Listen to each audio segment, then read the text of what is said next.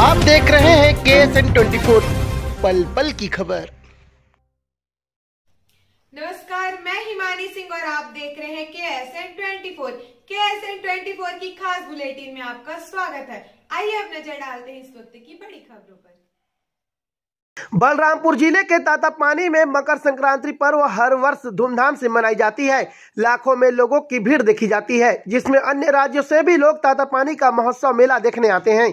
यहाँ हमेशा उबलता हुआ पानी हमेशा निकलते रहता है। इस कारण इस जगह का नाम तातापानी रखा गया है।